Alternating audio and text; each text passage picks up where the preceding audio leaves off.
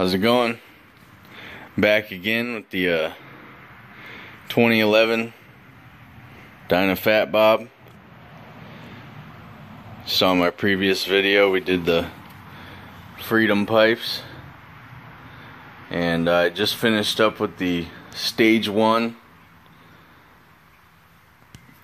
TTS Master Tune. Got the uh, S&S Stealth intake. Totally remapped the bike. Start it up. See if you can tell a difference. Rides a hell of a lot better.